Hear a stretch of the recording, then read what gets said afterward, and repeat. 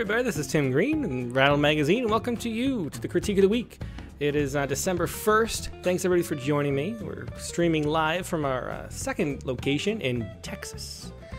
Um, it took a little bit to uh, get the Facebook stream going. They wanted a new stream key, but it looks like it's running. Cindy Putnam Guntherman is here. Hey, Cindy, good to see you. Over on YouTube, we've got uh, Katie Dozier, of course.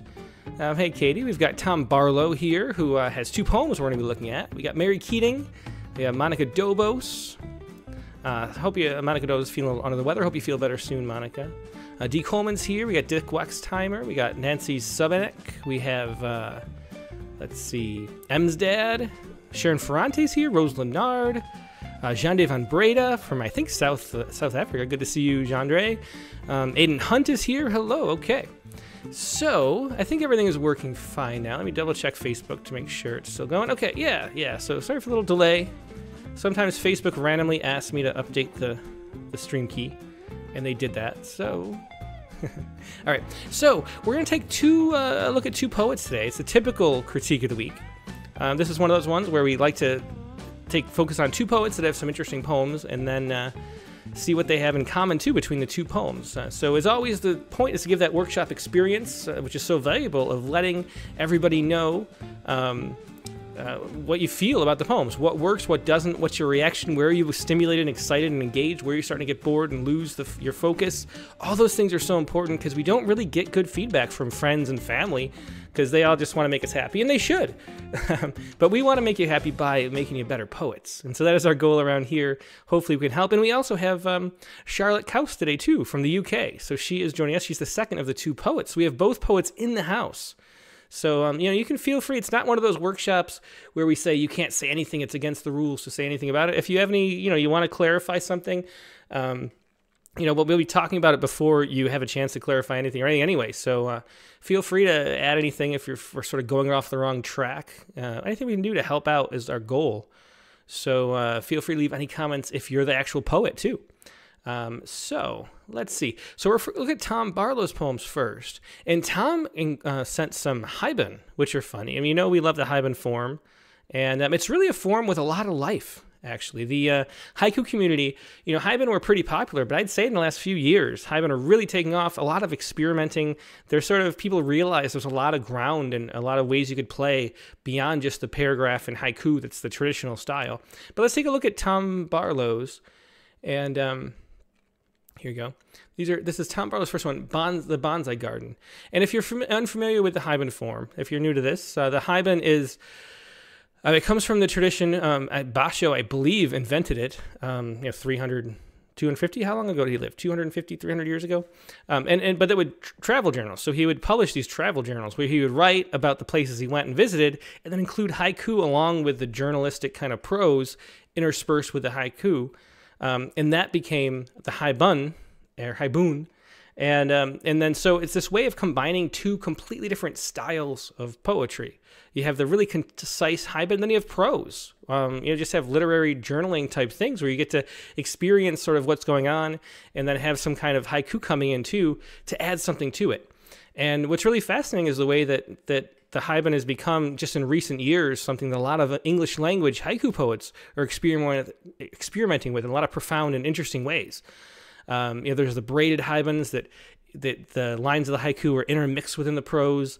There's um, all these sort of concrete type haibuns. There's adding instead of just using prose poems and then having the haibun separated off as a as a um. We have in the collaboration issue coming up. We have a lot of haibun too, uh, where it's um, someone writing the um, prose and someone writing the haiku. And so, um, and by the way, if you're one of those, we haven't let everybody know yet which ones we picked. And it's going to be another week before I'm able to do that. So sit tight and be patient. But we do have some haibun for the collaborative poetry issue too. Anyway, now let's look at uh, Tom Barlow's haibun, the first one, the Bonsai Garden. And so the Bonsai Garden. Basho in Kyoto longed for Kyoto when he heard the cuckoo. I watched it bathe, flap, flapping wings in the pond water, chirping its ignorant joy we did not drop our bomb on Kyoto, though the argument against beauty was fierce. So those ghosts fly elsewhere. In their absence, the cuckoo, that bird of unrequited love, watches me from a cherry limb as I wander through the bonsai, trying to imagine the man who could take an axe, small as my little finger, to these ancient trees. And then the haiku The boy tugs his mother's sleeve, come see the mushroom cloud. So that's really interesting. I like really like the haiku, and I, I mention this pretty much every time Haibun comes up. But when I get a Haibun submission, um, I read the haiku first, just because so many people don't sort of understand how haiku works, and there's so many bad haiku where it's um doesn't have any kind of it's like just syllables, you know, just counting syllables, and there's nothing else going on. And the haiku is really about the cut and and uh, and so you have to have this kind of juxtaposition between the two um, the two uh, parts of the haiku. Um, so we have this, um, you know, the boy tugs his mother's sleeve, and then we also have come see the mushroom clouds. There's this sort of overlapping cut, which is something that's really interesting that we can do in English. Um, you know, Japanese is a very different language. They have these actual words that sort of serve as punctuation, and so it's more difficult to do this kind of overlapping thing. And when haiku come into um, English, you can use sort of the spirit of haiku and, and use you know the different ways that English works to make interesting haiku based on the language and the structure of the syntax itself. And this is something that does it. So we have this overlapping where the boy's tugging at his mother's sleeve to come see, and also come see the mushroom cloud. Um, or the cut could be here. You know, you could think of it as the mushroom cloud, own thing standing by itself. But it's a really great, really great haiku because of that. Like it has this sort of two worlds in one breath, or my definition of haiku, because it's really this merger that's sort of at the heart of metaphor, this sort of way of symbolically looking at you know beyond speech the way two things are compared and there's something similar and something going on you know both things at the same time. It's like that everything everywhere all at once kind of thing crammed into three lines is what a haiku really is. And uh, and this is a great example of it. So really powerful to have you know you don't you don't expect the mushroom cloud coming like nobody of course you know tragically expected the mushroom cloud coming either in, in hiroshima or nagasaki. And so you have the power of that you know um, into the you know, and you can imagine a little boy, um, you know, being amazed at this sight that's really death and destruction, like in the distance too. So there's that aspect of it as well. Um, so so anyway, great haiku, and that the, the, haiku works, um, you know, makes makes the haibun work. The haibun really can't work without a good haiku. And then the, the really interesting thing about hai, haibun too is you have these cuts between the haiku. You know, the haiku there's a cut inside of it, where sort of there's a leap of imagination. That's what if, if somebody says a cut related to haiku, that's really what they mean. There's like a leap of imagination. There's some kind of like comparison or juxtaposition or some kind of like leap that's like I was thought I was here and then I was here. And really that's kind of what poems are doing, but haiku really compress that. And so we have that leap of imagination inside of it. Then we have the leap of an imagination between the two, and then we have a leap of imagination with a title connecting to the both of them. So there's sort of a possibility of three or four leaps of imagination within this and um, and I think that works pretty well. So um, okay, so the bonsai garden, um, interesting title. Um, and let's see. Um, and then we get back to it with the ancient trees, and you know these tiny axes, small as my little finger, to these ancient trees. So, so imagining the uh, the way a haiku or a, or a bonsai is clipped too at the very end. So we get back to the bonsai garden. Let's take a look at the at the prose uh, the Bonsai Garden. Basho in Kyoto longed for Kyoto when he heard the cuckoo. I watched it bathe, flapping its wings in the pond water, chirping its ignorant joy. We did not drop our bomb on Kyoto, though the argument against beauty was fierce, so those ghosts fly elsewhere. I think um, so, so you still want, even though it's prose, you want the uh, the prose to be as intense as possible and still kind of condensed like you would in a prose poem, maybe. And that's the way to get it the strongest. To me, I think the prose is a little too wordy, and I would trim that back a little bit. Um, let's see. so, um, um, so I think I would get rid of the. Um, let, let's do this. Let's let me just take out. Let me let me give a another version, so we can look back at the original too. But this, I would take out um, um, this right here. Um, we did not drop our bomb on Kyoto. I think the though the argument against beauty was fierce. Um, I think that I think that that it, it sort of moves to an abstract level. There's not a lot of real tangible stuff to get rid of it or to include you know, to make you think more. Um, and so I would trim this back and just go uh, and leave that kind of implied. We did not drop our bomb on Kyoto, so those ghosts fly elsewhere. It's a much more powerful statement Um, and uh, and and it's sort of the rest is implied. Yeah. Um, so let's see. Everyone's saying that the um, the repetition of Kyoto. I think I think several people have pointed this out. The um, um, let's see. So Aiden Hunt says I wouldn't use Kyoto three times either unless it's critical. Um, Brian so Sullivan says maybe just remove we did not drop our bomb on Kyoto and keep the though the argument was, was fierce. I, I like that. Uh, see, the thing is, if you know the haiku, and I didn't think it was Basho. Um, I thought it was. I could be wrong. I thought it was um, Buson or let me see. Let's see. Um, was it Basho? I'll just double check. Oh, it was Basho. Okay, so the the, the famous um, haiku from Basho that it's referencing is this right here. We'll put up. Um, um, I don't know why I thought it was somebody else, but we'll put it. This was. Um, I'll put it over here to put it. There we go. So this is um, even in Kyoto. Hearing the cuckoo's cry, I long for Kyoto. So that repetition is intentionally a reference, a callback to this famous haiku, which which I should know is Basho. Um, and so in Basho, Basho and Kyoto longed for Kyoto when he heard the cuckoo. So that's just a paraphrase of it. And to me, I think the repetition works. I think adding on to that, like you're sort of, it, it's making stronger the connection by by sort of doubling up, like doubling down on that. And so I, to me, I like it. Um, but a lot of people heard it differently and, and found it a little, you know, aggravating or something. And so that's that's fine too. So think about that, I guess. Um, but to, to, me, I like the the nod back and the way that it sort of pushed the haiku forward because that the haiku is based on that repetition. You know, and again, it's um, even in Kyoto, hearing the cuckoo's cry, I long for Kyoto. And so, and the repetition is part of the haiku. I mean, part of the power of this is that it's the same thing that I'm in, and I'm still longing for it. And the repetition of that, um, I don't know. There's something.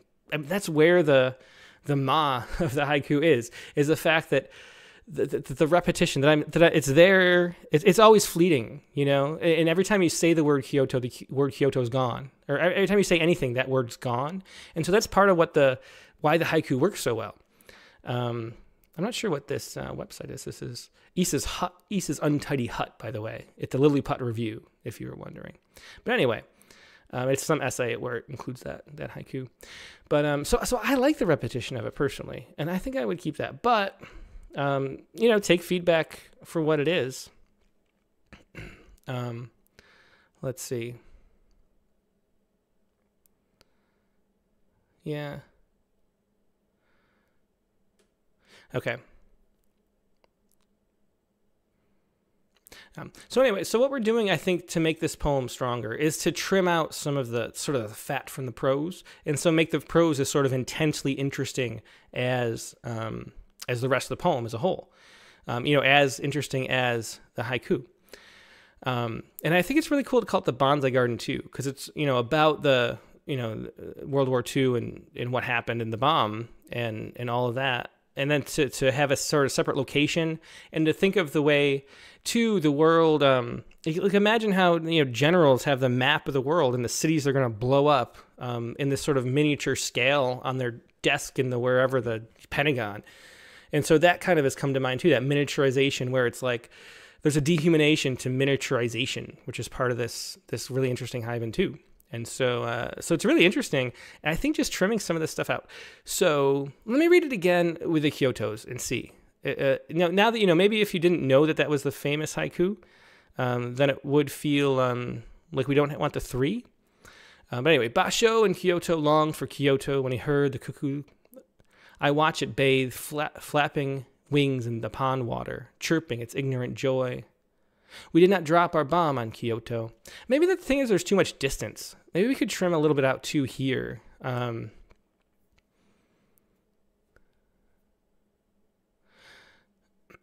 um, like maybe instead of chirping its ignorant joy, we could move this. What if we made it sort of one sentence so just moved quicker and we went um, it was flapping. Oops, we don't want the.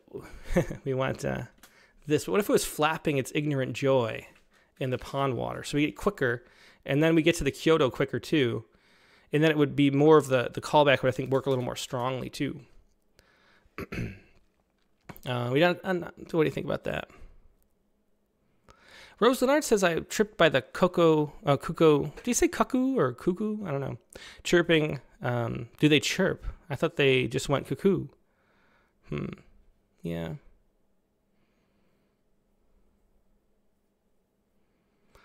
Um, Katie says chirping instead of flapping. Yeah, maybe chirping is better.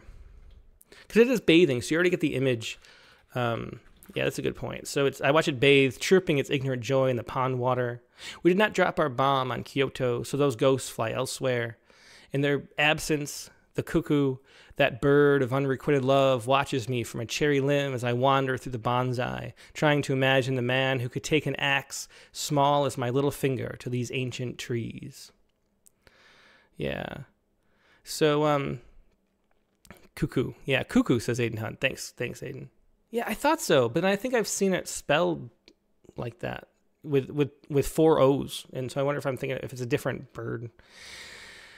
I don't know. Anyway, so I think we I think we just by cutting those couple things out condense this well. To me, I like the call back to Kyoto again, and I think that for the transition for the flow of the poem, it's sort of necessary too because of course that's not where the bombs were dropped and so we kind of need to reference that and recognize that or it just feels like an arbitrary Kyoto, but then we're really talking about other places.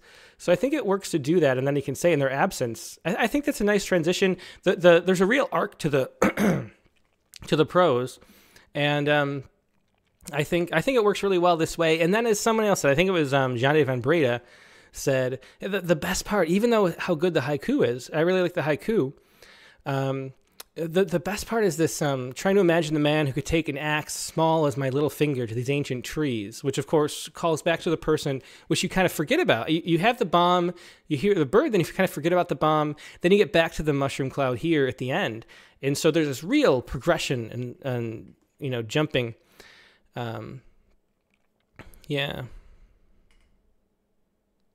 yeah, and, and so um, so so uh, it's a great line right here too and and I think I mean that's all I would do this poem myself, um, because I think it works really well. The I think one, I think maybe instead of the boy, I would say a boy, um, and keep it lowercase because usually we don't capitalize in haiku. It's not a sentence, um, so um, I would I would do it like that. Um, but otherwise, I think this works really well. It's nice, nicely fits on the screen too. Um, let's see. Yeah, so Check to Face says the cuckoo is their chirp. They're named after their chirp. Yeah, I, I, I think I don't have a problem calling that a chirp. I, I, you know, to me, I think this is the poem. This is what I would do with it. Um, other people are still suggesting. Um, who? Let's see, where was it? Somebody suggested. Um, yeah, somebody suggested cutting the second sentence. And I think, but I think we need that too. Like we're seeing, we're, there's a sort of progression going on. We're thinking about Kyoto and the cuckoo. We see one, and then we're thinking about the bomb and how it it didn't wasn't dropped on Kyoto. And and I think that's there's a lot there to it. And I think that really works as a transition. Just think of it like instead of a instead of a poem, think of it as like a movie or a novel with certain sort of plot points you have to hit to carry the arc of the plot. And I think you need sort of need every sentence here to do that. And so I think it was we trimmed out the stuff we didn't need. We had a few sentences extra in this original version. We cut out, you know, we condensed this and we cut out this. I think to me, I mean, someone suggested cutting this section, you know, and just saying, you know, go, I watch it bathe, flapping wings in the pond water, chirping its ignorant joy. Though the argument against beauty was fierce, um, well, I don't know if you could even do that. I, I, think you need that that section. So I think I would just cut this section. Anyway, that's what I would do this poem. If um, yeah. Em's dad says, uh, "Very good. I would still tighten it up a little. Yeah, I mean, so you can still tinker with it. But the only thing that's that I think could use tinkering is getting this as nice and tight as possible, in the same way that you would with any poem. Like you want every sort of phoneme that we have to say something loaded with meaning as much as possible. um, and um, and I think uh, you know, so so maybe there's some more tightening you can do. I think it's pretty good at this point. Um, and and I, I like it. So I think that it's a good poem, the Bonsai Garden. Let's look at the other one. And we've already talked about Haibun now, so we can just jump right in. This is also Haibun. Um, and and Tom, what Tom asked was, um, where did it go? He just said very simply, I'd be interested in knowing how well these poems conform to the Haibun form. And I think, uh, you know, conforming to a form like I was saying before, the, what's really interesting about the Haibun as a form is it's really vibrant and people are trying a lot of different things. I mean, there's a Haibun journal online, and there's um, you know, the poetry editor of uh, Modern Haiku is um, Roberta Beary, and the poetry editor of Frogpond is Lew Watts, and they're both really pushing the boundaries for what Hi, um, Haibun can do and and trying a lot of different things. Um, and also, you know, Kat Lehmann, who we publish frequently, is experimenting with a lot of different ways. And so there's this way that we sort of realize there's so much potential within Haibun that, uh, and it's not something that was really tapped yet, which is a nice kind of thing that. You know, you, you do try new things with this form, and it's things people haven't seen before. So there's a lot you can play with. These are pretty traditional, and I think they work on a well, the first one at least. I haven't read the second one, but they work on a um, you know, on the traditional level. Usually, you know, Haibun, this is the sort of the, the most common way it's done. We have, if you can look back, just type in haibunitrattle.com in the search bar, and you will see, you know, dozens of, maybe two dozen Haibun come up, and some of them are long. Like we have some that are, one's like eight pages long, and it's interspersed with haiku. Um, but the most common form is they have the short prose poem section, which is almost like a prose poem, like very concrete, usually really condensed, and then one haiku. And it's the contrast between all three that really makes that sort of magic happen. So this is the most common type of haibun. Um, and I think it conforms really well to that. But my point is that uh, I don't know if you should try to conform, like try to find new ways to experiment with it too, and that's interesting as well. But but it's great to do this this way too. But yeah, it, it fits well with what people are doing and have been doing for the last few decades. Okay, so let's do this next one: the Cherry Red Camaro. Engine work done. I listen to my Camaro riff before I give us both a hose and bath. Sorry, give us both a hose bath. I scrawl another X on the Valvoline calendar, and there I am, passed out drunk again in the back seat, White Castle sleeves stinking up the floor. Last night I begged the bartender to cut me off after three drinks, so she lined up three long necks on the bar like I was Joey Chestnut. Of course, it didn't stop there. Sometimes waking the next morning is like a nail gun fired into the webbing of my thumb. When my boss calls from the roof of a McMansion to see where I am, he tells me not to bother coming in anymore. I take this as an occasion to celebrate maybe breakfast at the car track, burritos with ghost peppers, and wonder if I really know what love is anymore. I call out to my wife, Hey Carmen, are we still living the dream? V8 swinging from a tree limb, Christmas decorations. So again, a very nice Haibun. Um, yeah, so so uh, you know V8, so we get the Camaro coming back, and then is a is a can a tree limb hold a V8 engine? is that uh is that something people do to use a a tree as an engine lift? Like, I mean, I know it's something that's something you should do, but is it something people actually do? Because I think that's a lot of weight to put on a um, on a tree limb, and I, I, would be very aware of that. But if it's something that you know risk takers do, then I think it works great for the poem. Um, and then to call it a Christmas decorations is just really fun too. So V8 swinging from a tree limb, Christmas decorations. Again, um, a, a, nice haiku at the end. You know, one it's even though it's two lines. Um, I, I, read an essay in Frogpond from I don't know maybe five or six years ago um, about the two line haiku, which is something you don't see a lot. You see a lot of monoku. It's probably, I don't know, 20% of haiku these days. And then you see a lot of three line haiku. And, um, you know, in traditional Japanese, it's really interesting that, you know, they, they write them in one line, but then it's one line because they're divided by these mora or on, which are kind of like measures of music. So there's sort of, um, it's like like three bars of music is really what what it is along one sheet. So it's like imagine a, a, you know music across the sheet of a page, and it's like three bars or three measures. What's the difference between a bar and a measure? I'm not a music person, but you know I think you know what I mean. And so that's sort of the the traditional way of breaking it down. But of course, there are all sorts of forms of haiku in the Japanese originally too, and um, there's really no reason in English not to make it you know have it have two lines when that's appropriate and makes it really fit. And you know you could um, you could change this and just add a break here so it's um, V8 swinging from a tree limb like that. Or you could have it, um, you know, switch around from a tree limb, V8 swinging Christmas decorations. I think that works too. But I think this is nice too. Um, I, I, don't know. I like the pacing of it. And so I think it works really well as a two line haiku, which you don't see very often, but who cares? Um, so I think that's really nice too. Um, let me see the comments. Um, A Dua, says Sharon Ferrante. Yeah. Um, and then Marion Keating says, or is the V8 a, in, is a miniature and a Christmas decoration? Yeah, that's a good point. I, I saw it as an actual um, engine, like an engine block that someone's like changing the car but using the tree limb to hoist it up. And uh, but maybe it is a decoration. I like that too. And it's really another example of why it's such a good haiku.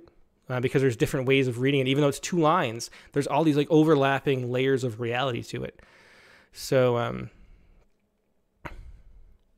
do question as decoration or ornament? Yeah, that's an interesting point. Is ornament maybe a better word here? Christmas ornaments. Or just one ornament? I mean, is that better? I mean, the, the decor, I mean, the ornament's a little, it kind of fits with both, but I think fits the, um, it's hang, it's a miniature hanging on the tree a little, a little better. Christmas ornament. So maybe think of that. I think they could go either way, but I, I like that too. D. Coleman says I took the haiku as the after effect of drinking, the car driven into a tree. Um, yeah. And then Gender says maybe Tom played with both meanings. I think so. I, I, think I just didn't happen to see it that way, but but once you see it, you can't unsee it. Dozer says I prefer ornament. Yeah, I think I'd like ornament better too.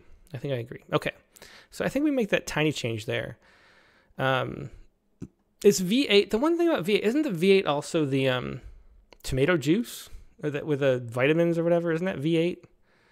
Um, did anybody thrown off by that, or is that not? Um, does that not matter? That was one thing I thought too. For a second, I, you know, when I first read V8, my first thought was the juice, and then I realized it was a V8 engine based on the the topic very quickly as soon as it was swinging. But uh, for a second, I thought of the the V8 juice. Is that V8? Is that my imagination? Anyway. Okay, well, let's look at take take a closer look at um, the pros, and then we'll look at all. And that's the way you have to do it. You kind of read through, see what you get with a haiku, and then sort of understand the poem through that. Um, and there should be a kind of leap. It's you know it's more powerful when you have a bigger leap, a bigger cut that still works. And I think this is a big cut from this scene of you know drinking all night and then losing your job um, to this this uh, sort of second scene where the V8's swinging either as a Christmas ornament or from the tree limb. Um, yeah. So Dick says no is clearly an engine. Yeah, I think with the context it is clearly. But, but to me, I did flash the V8. Like maybe even before I read it, just out of the corner of my eye, I saw V8, and I thought of that tomato juice. Um, and, I think maybe, I mean, I thought for a second too, maybe you know, cherry red could be the color of the tomato. You could play with that intentionally and make more of the V8 as part of like the color or something, but I think it's better like this. I think that's sort of a distraction from what's really cool about the poem. Katie says though she's thrown off by the juice slightly, so that's something to keep in mind. And um, is there another word um, for that, like a big engine um, that you could use instead? Like um, I don't know. See, I'm not a car person, so I couldn't come up with that. But but maybe there's another, you know, for the engine block or something, or or um, I don't know. Maybe there's something good that works too, besides for V8, so they don't throw you off there. Um, anyway, let's see what else. Yeah. Let's see. Okay, well, let's read the read the whole whole prose again. The cherry red Camaro. Engine work done. I listen to my Camaro riff before I give us both a hose bath. I scrawl another X on the Valvoline calendar, and there I am, passed out, drunk again in the back seat, White Castle sleeves stinking up the floor. See, I love that. Great description and details here. I mean, scrolling an X on the Valvoline calendar. I mean, there's so much that just feels. I mean, don't you know car people that are like this? You know, um, w- with all the specific detail though, the White Castle sleeves stinking up the floor. Um, you know, the the one thing maybe um, you know, somebody takes this much care of the car maybe wouldn't let that happen. But still, it's an, it's an interesting detail and makes it feel authentic. Last night, I begged the bartender to cut me off after three dink- drinks, so she lined me th- up three long necks on the bar like I was Joey Chestnut. So I have no idea who Joey Chestnut is. I'm to look that up. Joey Chestnut. It's just, a, I mean, there's a lot of references because, you know, it's a big world. Joey Chestnut, oh, is the hot dog champion, I think, right? Yeah, that, that, that, um, Com- well, competitive eater, but he, eats hot dogs, right? Yeah, hot dog eating contest. Yeah, so Joey Chestnut's the one that eats all the hot dogs. Okay, so he's won the um, the hot dog championship many times. I was gonna say how many times. I don't know. He's the world's first. He's the world's first eater in the Major League Eating contest. And here he is, a picture of uh, of Joey Chestnut right here, just for fun. Joe. Oops, what did I do? Joey Chestnut. There he is. And Joey with his championship belt. Um, so okay, so so she lines up three long necks on the bar like I was Joey Chestnut. I like that. That's really funny. Um, that works. Um, um, of course, I didn't stop. It didn't stop there. Sometimes walking, waking the next morning is like a nail gun fired into the webbing of my thumb, and I love that too. You know, because it's another transition to um, you know being a roofer um, by day and a you know a drinking car lover by night. Uh, when my boss calls from the roof of a McMansion to see where I am, he tells me not to bother coming in anymore. I take this as an occasion to celebrate, maybe breakfast at the car track, burritos with ghost peppers, and wonder if I really know what love is anymore. I call out to my wife, Hey Carmen, are we still living the dream? And, uh, and then V8 swinging from tree limb, Christmas ornament. Yeah, these are really nice. I, I think both these haiku are really nice. The only thing here, I mean, all these details in here are really interesting. I was thinking about like how we could condense it maybe, but the details work really well. Um, you know, the specific detail of being fired into an, an, uh, the webbing of my thumb, and then the boss from a McMansion. I mean, these are just this is really good good details throughout. He tells me not to bother coming in anymore, so we can imagine all that scene playing out. I take this as an occasion to celebrate, so there's a turn there. Um, maybe breakfast at the car track I would say maybe, you know, because we already talked about the car so much, I would just maybe say the track and let that be open ended. Um, a tiny detail to change, but but um, a little tiny contention. Breakfast at the track, burritos with the ghost peppers, and wonder if I really know what love is anymore. And it could end there, but it pushes a little farther to add the wife that he calls out to and, and the idea of living the dream. So there's a whole bunch that's more added to that. So I think other than that little the car, I, I would just say the track. Otherwise, I would leave this really condensed. And in here too, um, that's really good. Maybe find a different word. We we changed ornament. Uh, we change decoration to ornaments. I, I think I agree. It, it, grows on me more. Maybe a different way for V8, or maybe not. Think about that because it doesn't. It can't just be an engine block. I mean, the idea uh, because it has to be something that you would, if you loved cars, um, maybe like chrome engine would work or something like that. But it has to be something that's like beautiful enough that you would hang on a tree, or it could just be um, hanging from the actual tree outside because you um, you know can't afford a, a lift or whatever they call them. Um, engine engine rack, whatever that is. Um, so it can't be just some you know like ratty old engine. It's got to be something really nice. You know, V8 kind of implies that maybe, but maybe something else instead. The only only there, and then here I think um, the cherry red Camaro. I think maybe um, just so there's can be more sort of ambiguity within the poem, I would consider changing this to just cherry red, and so we don't really know. It leaves it because we have the engine work done right away. Um, I listen to my Camaro riff before I give. So we have the engine in the Camaro right away, and so if it's the cherry red Camaro, it's kind of a, it feels a little redundant and not as interesting. But if we say cherry red, which I assume is the color, I mean, I don't know what it is, what's going to mean. Eventually I'll know that it's the color and I'll say, oh, it's the color. And so that adds detail as we refer back to it. And cherry red too, And like there's, you know, the cherry on top, that type thing. Um, there's that kind of concept. So it leaves a lot more open endedness by shortening the title. And I think that might help just a, a little bit. It's great um, already, but I think that improves it just calling it cherry red. And those are the only things I can really think to change. So, um, so good stuff, Tom. And it's fun talking about Haibun. I really like Haibun as a form. Uh, let me see if there's any other comments before we move on. Jean Van Breda says, overall dark but interesting. Nate Jacobs says, another haiku end, breeding breaks later. V mix V8 mix two red, Christmas ruined. um, Yeah, so, so to go watch I saw a real engine is not to the life of the backyard rough riding mechanic. That's how that's what I saw too. I, I so so what I saw out of the corner of my eye, I saw, you know, V8 the drink is coming, but then I realized as soon as I saw swinging that it was that, and that's what I saw. For the rest, did not see the Christmas ornament. I thought of it as like, like um, you know, like Carmen said, put up the did you put up the Christmas lights yet? And he was like, yeah, the tree's decorated, and it's just the engine. um, but anyway, it's it's a fun um yeah, it's a fun poem. Um, Genevieve embrace this cherry red could be blood. Let's see.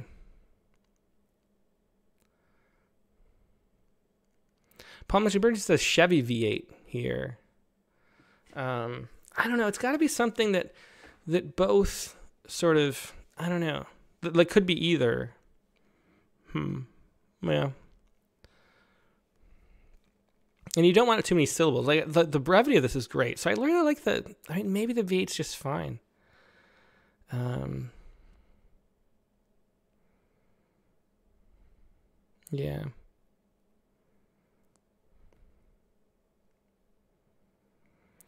Yeah.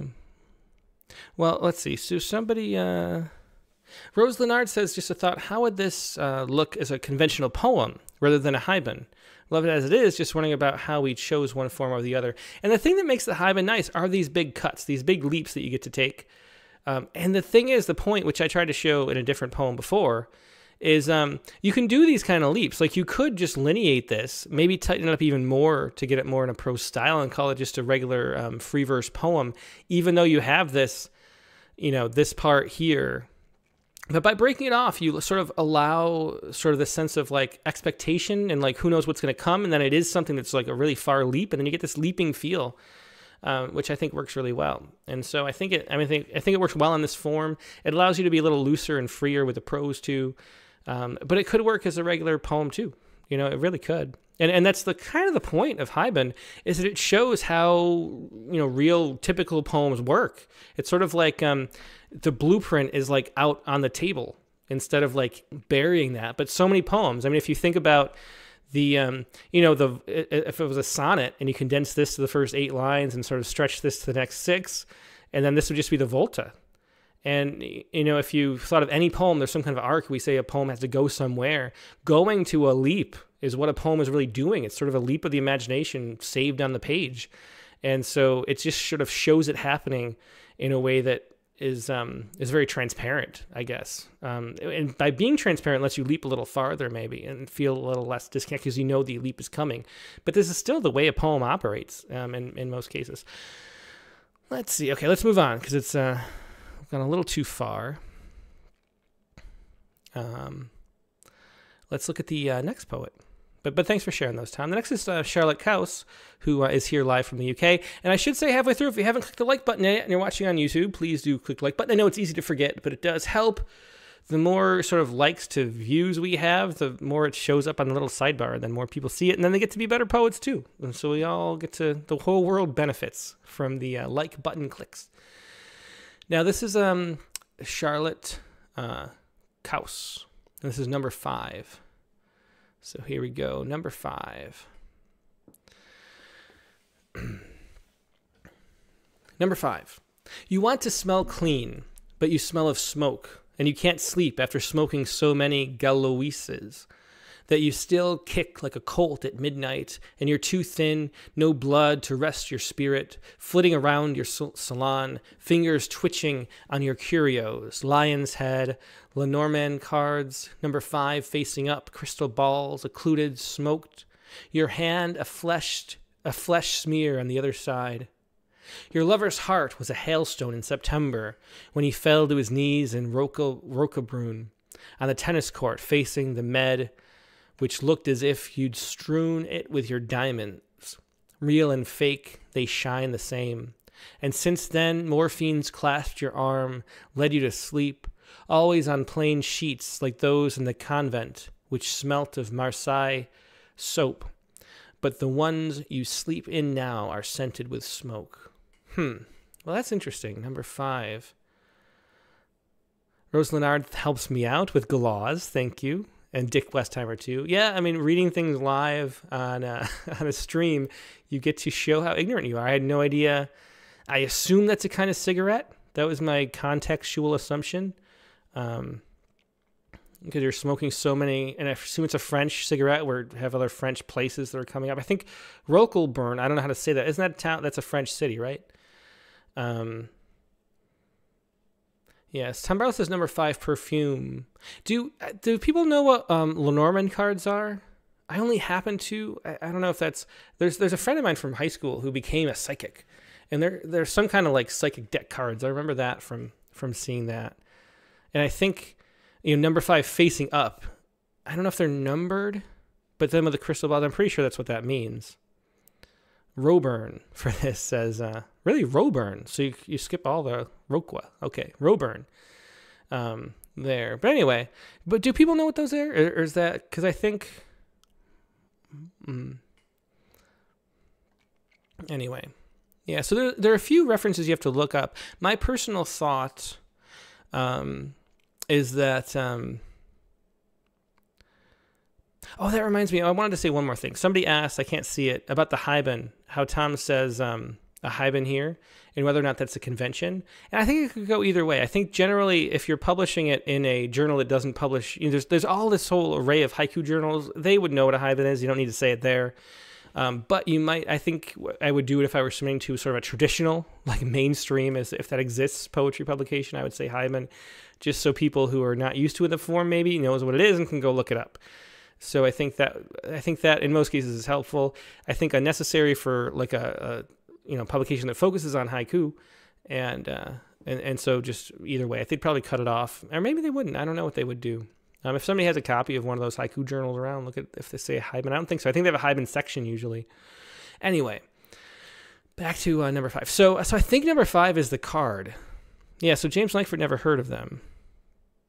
Um, Dick Westheimer says that uh, Gauloises are the sort of the French equivalent of Lucky Strike, which is the uh, mixed with cheap cigars. Lucky Strikes were my softball team for some reason. I have a Lucky Strike jersey. Um, I don't know why we picked that either. Um, let's see. So Katie Dozier says I go to both the perfume and the Demuth painting after William Carlos Williams. Oh yeah. So there's the um, the famous William Carlos Williams poem number. No, isn't that number eight? The figure eight, or is there number five one too? Um, or is it the figure five? Gosh, William Carlos Williams, the figure. It's the great figure, right? The great figure. It is the great figure five. I was wrong. This is one of my favorite poems. This is actually the poem um, I, I, love. Um, somebody not too long ago asked what I like to teach kids with, or how I, I can't remember if it was um, on the Rattlecast or somewhere. I think it was on the Rattlecast. We were talking about that, maybe with um, Partho uh, Sereno. Uh, but I think, but I love showing kids this poem because it's such an easy poem for them to emulate. This is um here we'll put on the screen, "The Great Figure" by William Carlos Williams. One of my it's great little tiny poem. I'll, I'll read it. Why not? Among the rain and lights, I saw the figure five in gold on the red fire truck, moving tense, unheeded to gong clang, siren howls, and wheels rumbling through the dark city. So um, yeah, yeah, kids love that because they can just sort of just picture something and describe it, you know, and it's a really good way to get them writing concrete images. But anyway, um, so the, the, number five there fit. Um, the question um, that Charlotte had was Does my language sound natural? And do the metaphors and similes work? And in the case of number five, should I say what is about or leaving as a riddle for the reader? I think to me it's too riddle because we don't know you know, I think this is a, you know, because the number five is facing up. I think it's a card in this deck, which is like a psychic deck, like what a medium would use, but it's not the traditional. What's the other one called? The um, you know, with the the beggar and the um, the the other deck, whatever. Um, uh, but it's similar to that. And then we have the crystal balls. Um, so I think that's what it is, but we, we're still kind of confused. You know, there's a bunch of options and no one really knows. And I'm not even sure what that's referring to or why, what it, why. Um, and so I think definitely it lacks clarity in that regard. And then there's a lot of stuff. I like looking things up, and a lot of people knew what those were. Um, you know, it's a place. You know, I love a lot of the details and images. It is a little hard to follow. Um, I, you know, the thing is, I guess I'm saying that I like, I like looking up stuff I don't know. It's kind of fun when the poem sort of hangs together either way, um, and it sort of adds a layer. But here, I'm, I'm having a little too much trouble following exactly what is going on, but I like the details. It feels a little bit um um you know, a little John Ashbery-ish in the way, like John Ashbery when he writes, and you know, he was sort of popularly loved or hated by readers, but he sort of assumes you get every illusion and doesn't bother like letting you in. And you know, there's a, there's something nice to that sometimes if there's enough that it hangs together where like as you're exploring and like seeing more details, it's like making it's sort of adding on. It's like additive when you have to go look something up instead of like you have to look it up to solve the riddle. And um, so it's this leans a little too confusing to me, um, but it's, it's, it's interesting though. Uh, let's look in more detail. Um, Number five again, and I what we don't really know exactly what that means. You want to smell clean, but you smell of smoke. So I don't know how who the you is. I guess maybe that's the big problem. And I know that you, you know, your lover's heart was a hailstone. So is it the same you and their lover later? You know, who you know falls in the tennis court too? I, I guess it's all the same you. It feels like a really specific person, and somebody falling on their knees in a row Roeburn if that's how you pronounce it, uh, Paul, um, facing the med. I'm not sure what the med is. There's a lot of stuff that I'm not sure what the references are. That feels like if you were falling on your knees, you won the tennis tournament. Um, but uh, also the I, I, love this description too of the diamonds real and fake because if you look at the tennis court, the hard court from a certain angle, there are these little diamonds. There's a gritty sort of sand that they add to make it give a lot of traction for the ball, so that the slices sort of cut and break hard. And um, and if you know if the sun hits right, there is a sort of diamond sheen, which is great. But the courts in France are famous for being clay, so that's a little confusing too. And then why the person's dying and the so it's, it's I love the details, but it's hard to follow exactly what's going on. And do we do we get enough out of the poem to, to not mind that we're being lost, I guess is the question that comes up. Mary King says Med is just the Mediterranean, facing the Med like the Mediterranean. Hmm. Oh, so does the Mediterranean look as if you'd thrown it with diamonds. That's interesting. I thought it was talking about tennis court. Um, so Phyllis um, says um, maybe title to somebody so we know who the two is, to, to the you is, or dear somebody or something like that. Like make it like that because it is written as like an epistolary poem. Um, and then that would help us figure out sort of the context a little more. Sharon Francis is covering up the smell of smoke with the perfume, uh, but I'm a little bit lost. Yeah, and it's just hard to follow. The great details, but hard to follow. Nate Jacobs says the references here are cool, but perhaps too many and too obscure in quick succession for me to stay in the poem. Um, let's see. Yeah, and so Lenormand cards are French fortune telling cards, which are numbered. I'm describing the objects that Chanel had in her salon. Number five was her lucky number, and she had the card face up in her salon. Oh, that's interesting. So Chanel number five is, is that is that why there's Chanel number five is the perfume? Is that I, I guess it must be. Um. Hmm. Well, that's interesting. So there, so there's a lot here. So, so who is the you? I mean, maybe if we could find, if we knew who the you was, could it be? Um, is there more explanation? Yeah. Hmm. Yeah, I just feel like it's too obscure. So, you know, Charlotte says here that the cards are French fortune telling cards, which are numbered. So I'm describing the objects that um, Chanel had in her salon. So, eh, so if we got that, um, like if it was like to Chanel looking at the objects in her salon, and then we would, um, then we could move on. Let's just imagine that was the title, and then read the poem thinking about that. And, and who is so let me look this up too, because there's a lot of stuff that I just don't know in the world, obviously. Um, um, uh, let's see. No, I want to see like the history. So who? Ah, sorry, I want to be quick, so I don't take everybody's time just looking at stuff. But is there more?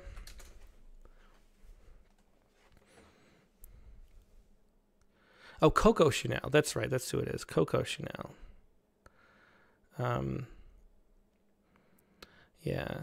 Okay. So yeah. So if you if you said it was two, you know, Coco Chanel looking at the objects inner thing. So let's pretend it said that, and then now we know who the you is. Bam. You want to smell clean. Feel how much better that smells, or that smells. Sorry, how much better that feels knowing knowing who the you is with a title. Two Coco Chanel you know in your looking at the objects in your salon You want to smell clean, but you smell of smoke and you can't sleep after smoking so many um, go. Oh, I can't remember how they said to pronounce it. Goees, something like that.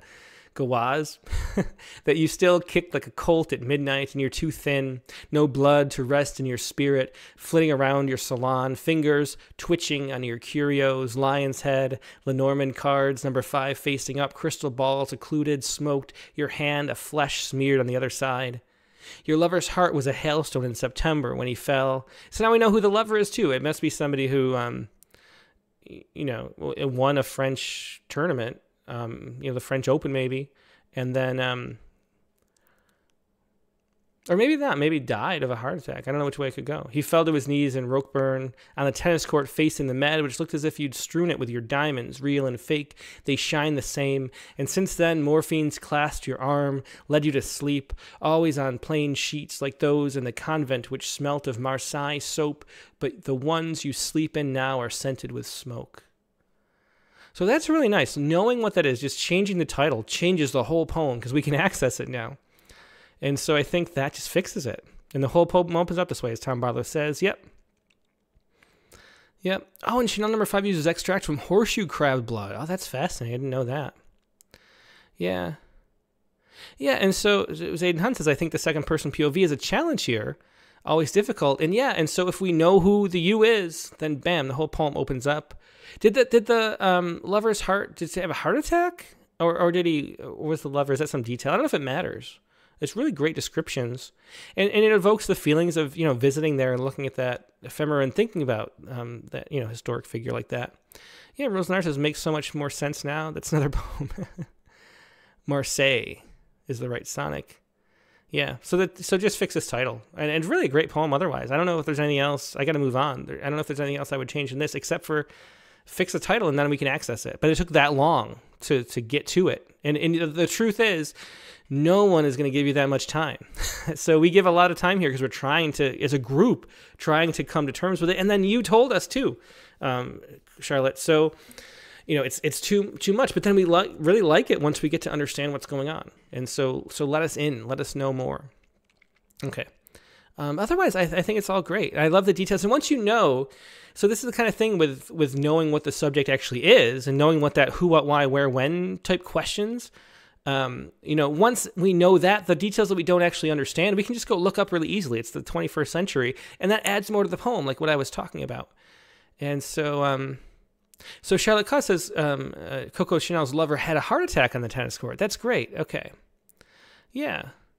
It's very interesting. So so we can look up that. We can like, I don't know what that means. Oh, that's what it means. And then we just feel like it's more detail, it's enriching the poem, but we knew understood it the whole way through.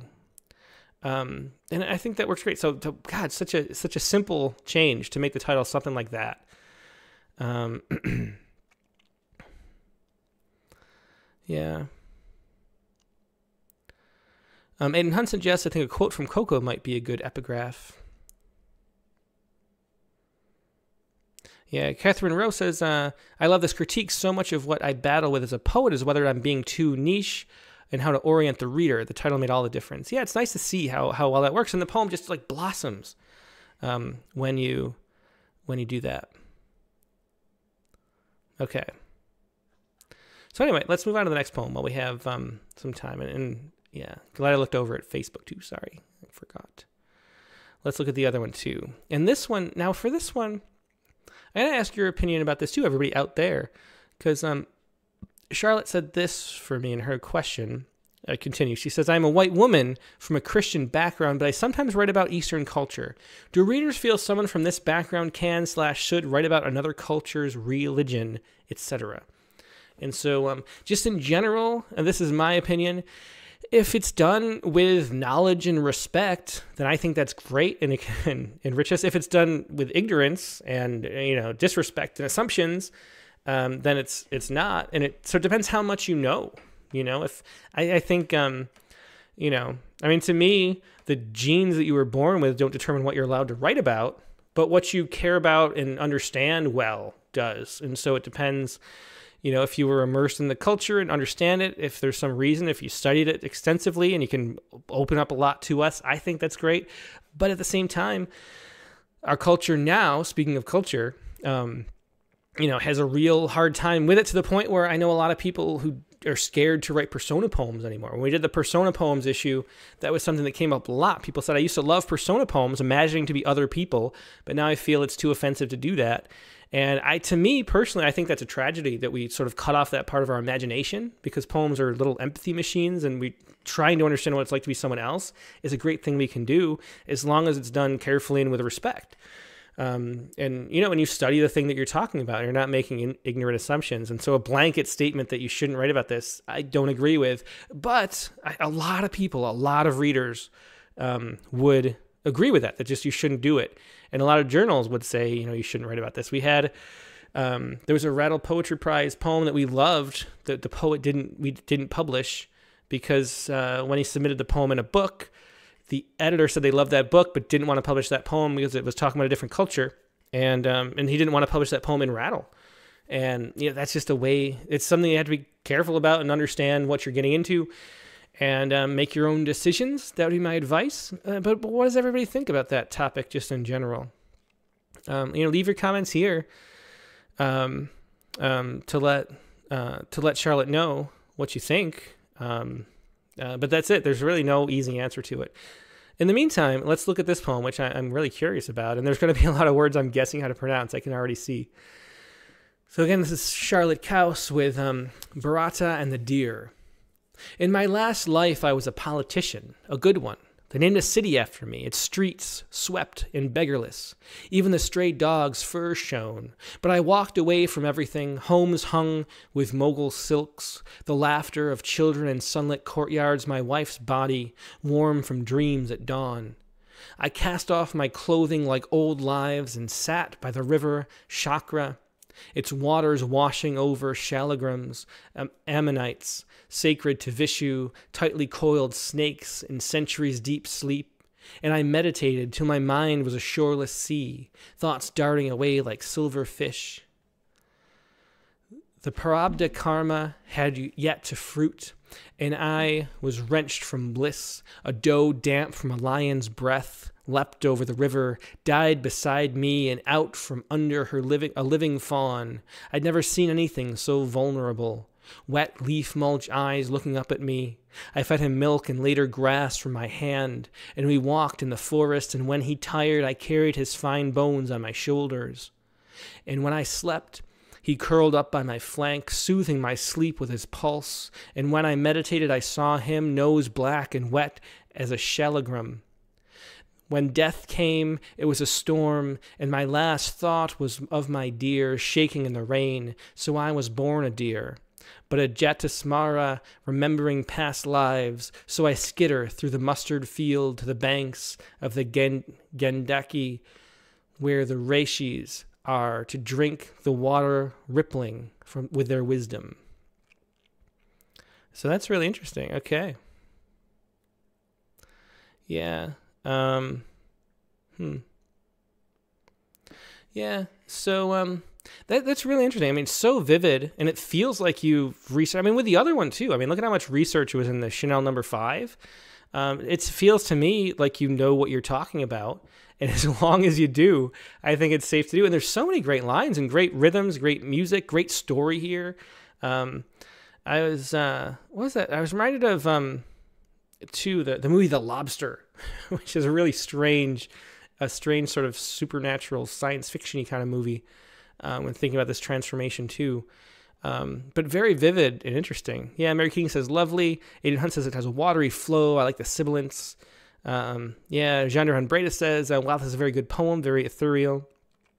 Um, yeah. Uh, about the general question, um, let's see. Uh, Dick Westheimer, Where'd that go? Um, yeah. Dick Westheimer says, uh, well said, Tim, F the mob.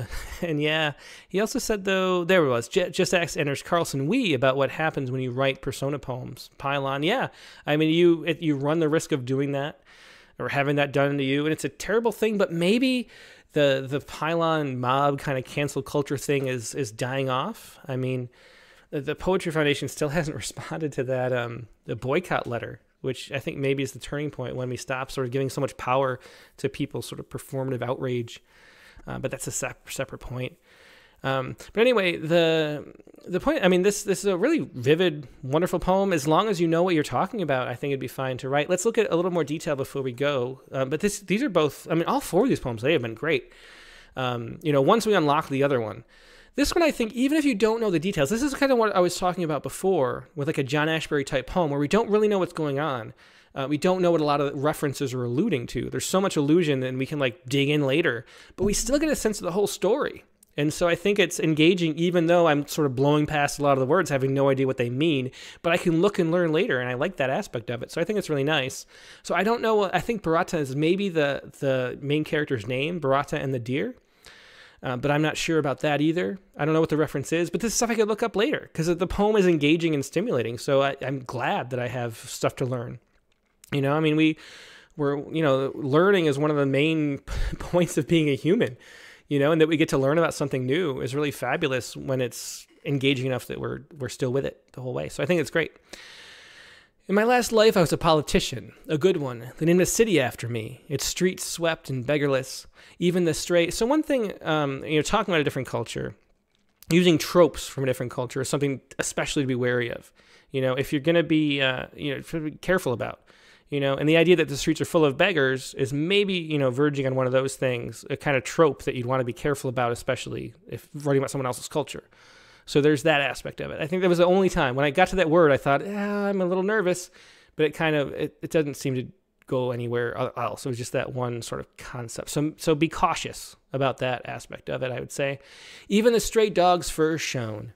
but and I love that detail, even the stray dog's fur shown. That's great. And a great example of just the way that the richness of detail in the music come out. Even the stray dog's fur shown. There's a nice sound to that. Um, the the musical rhythm is great. Uh, great lines. But I walked away from everything. Homes hung with Mughal silks, the laughter of children. I think we need uh, a little more punctuation in places in the poem, so it needs a comma there. The laughter of children in sunlit courtyards, my wife's body, warm from dreams at dawn. Again, warm from dreams at dawn. This is you can tell that Charlotte is somebody who um, reads a lot of poetry because there's that that way that the um, the, the phonemes are dancing across your tongue, which is something that that that's what kind of we mean by music, but we don't really think about it in that detail. So, you know, warm from dreams at dawn. It, there's a great movement in your mouth to that phrase. I cast off my clothing like old lives. Again, great. I cast off my clothing like old lives. That's great. And sat by the river Chakra, its waters washing over shilograms. I don't know what shilograms are. I think this is the one word I might look up before we leave because I'm curious. And I do have to get out, going soon, but um, a shilogram is um, a fossilized stone let me see. Well, let's look at it. Let you see it too. It's a. Uh, here we go. Yeah, so these are them. It's a fossilized stone or ammonite collected from the riverbed or banks of the Kali Gandaki, a tributary of the Gandaki River in Nepal. Um, it is also considered a form of Vishnu within Hinduism. So it's a really interesting detail. Um, yeah, so there's a whole long story if anyone wants to look it up, but that's interesting. Okay, so back to the poem while we have some time. Okay, so um, washing over Shilligram's ammonites. It even explains it, sacred, but we don't know. Um, oh, I think it's a typo. That should be Vishnu. Uh, be careful about that too. If you're going to write about someone else's culture, definitely spell, you know, get the whole. Be very careful. Be a little extra careful because you don't want to end, end up like Anders Carlson Wee or other people. You know, there's just a lot of anxiety and stress that comes out of that. There's a real sort of deep human reflex when you get attacked by a mob because you don't want to be thrown out of your tribe. And, um, you know, because that was a death sentence. So we sort of desperately cling to in-group affirmation, which is really the what's going on with all of the uh, cancel culture mobbing. But you don't want to be part of it if you can avoid it, because um, it is even if you say "f the mob," you still have all of that, uh, all of those sort of um, I don't know those those those uh, neurological processes that make it it feels like drowning to have be cast out like that. There's a real reflex that we have to not be excommunicated from our tribe, so we on our own in the you know trying to survive without is something that humans didn't do. And so um, the people who desperately clung to their tribe and their in group are the ones who survived, and so we all are desperate for that in group validation. Anyway, Um, um, the laughter of children at sunlit courtyards. My white spot. Wait, where were we? Down a little farther. The uh, yeah. So Vishnu, tightly coiled snakes in centuries deep sleep. I meditated till my mind was a shoreless sea. That's great too. The shoreless sea. Thoughts darting away like silver fish. And that's really wonderful too. I mean, just beautiful images. But the um, Prarabdha karma had yet to fruit, and I was wrenched from bliss. I mean, that's beautiful too. A doe damp from a lion's breath. One thing I wondered if a doe damp from a lion's breath is like too much. Um, I mean, like the uh, imagining that that could be literally true. It, it seems impossible that the line got that close that the doe was actually damp.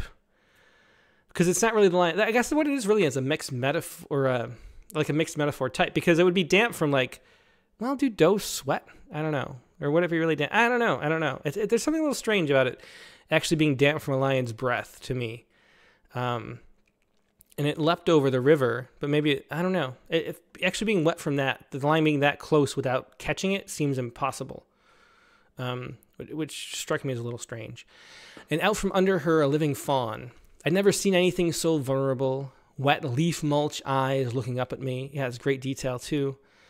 Um, I fed him milk and later grass from my hand, and we walked in the forest. And when he tired, I carried his fine bones on my shoulder. See now how nice it is, like a word like fine. You know, we don't want to use a lot of adjectives, but a really perfectly placed adjective like that really adds to the, our understanding and our feel of what's going on. So beautiful use of that fine. I carried his fine bones on my shoulders and into the bones on my shoulders. Another great music, great music throughout. And when I slept, uh, he curled up by my flank, soothing my sleep with his pulse. And when I meditated, I saw him nose black and wet as a shalagram. And we get that shalagram again. Um, um, I, I, wonder if, uh, I, I, guess we, I don't know. Coming back is interesting. I wonder um, if we should do it twice or not. I, I kind of like it. I think it's fine. The, when death came, it was a storm, and my last thought was of my deer shaking in the rain. Again, shaking in the rain is great. So I was born a deer. And hopefully that's how it works. I don't know. Um, but a, a jatismara, remembering past lives. So I skitter through the mustard field to the banks of the Gandaki, where the, where the rishis are, to drink the water rippling with their wisdom. It's just a beautiful story, and I, I like the movement of it, and I like the, the music. Um, I don't know. Does anybody have any suggestions for changing anything? I mean, the only thing that Lion's Breath threw me out, just I, I wondered if it was a little too, um, um, uh, just if it could be, you know, Genevieve Breed says the line image fits with the mystic nature of the poem. It, it definitely does, but I think um, I don't know. Maybe maybe it's just something to me. I, I am one of those people who watch a movie and I think like that couldn't actually happen, and it like ruins the movie for me. and so there's a bit of that. Maybe it's just me personally. Nancy Sobanek says, I think this is a very good poem, but may have just a touch too many cultural religious reference words that slow down the reading. Um, Let's see. Yeah. Dick Westheimer says, I love hearing this poem, such great music. Um, Tom Barlow says, given the setting, would it be more likely to be a tiger than a lion? That's an interesting point, too. Another thing, too, about, you know, cultural references and stuff. If you're going to enter another culture, you have to get the details right. Um, Um, Dick Westheimer says I had native Ukrainian speaking folks check my chapbook for spelling and cultural references. I mean, that's a thing too. I mean, I think there's a, um, you know, a lot of, um, you know, the, the, the idea of the sensitivity reader is sort of a, you know, overblown thing that sort of turned as a, as a crutch and a kind of, um, um, you know, a, a, mode of censorship, but there is a real, you know, valid reason to be culturally sensitive. And so having it somebody who is sensitive to the culture you're writing in is really important to make sure you get all those details right and that nothing's wrong. And you can't just talk to one person either because, you know, it's not like, you know, just if you live in the culture, you have the same opinions as everybody else. Like it takes a lot of perspective to see what might rub people the wrong way, what might be wrong. Um, and then, you know, once you know those details, you decide whether or not you want to keep them because maybe you do anyway. I mean, um, you know, there's just a lot of decisions that go into it. Um, but it is really interesting stuff. Is any other suggestions? Because I'm, I'm, not. I'm. I, I, really like the the poem, the story, the ending. Um, maybe. Um.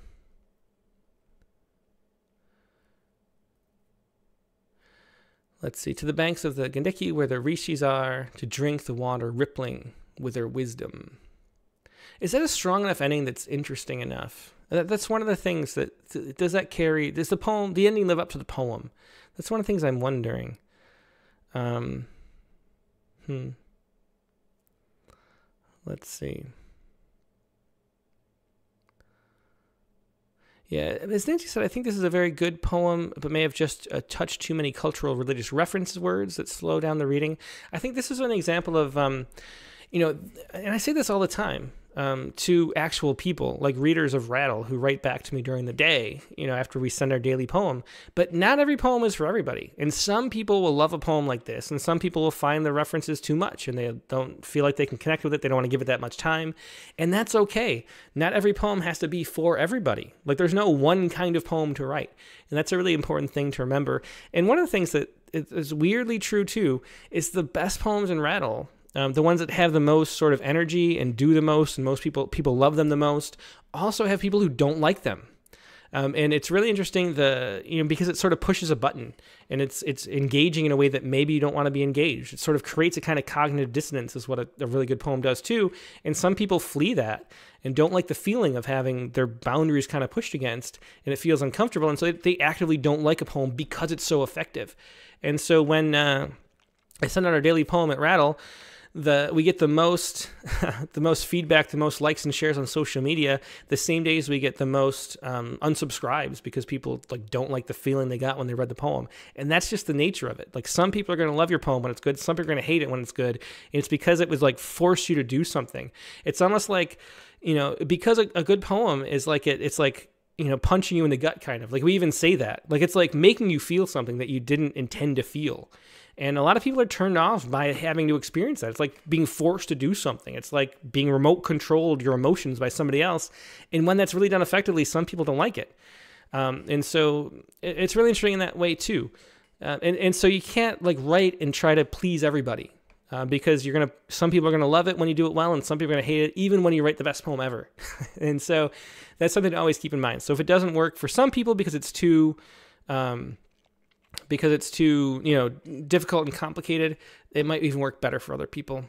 So um, let's see. Genevieve Brita says maybe less punctuation overall um, or uh, shorter lines could possibly help the flow. I don't know i like the size and the flow of it. We do have a lot of the dashes uh, but, but I, I think that worked really well. Um, hmm yeah.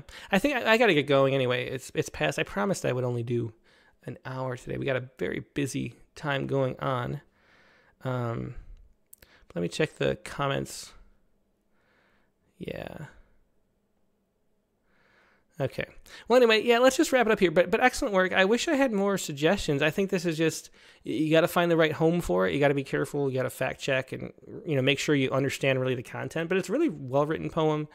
Um, and and the other one is too. The other one, you know, just unlock it with a title but otherwise that's that's great too. So we looked at a lot of good poems today, and you know we could tighten up a little bit for Tom Barlow's Haibun, but they were great Haibun, um, both of them.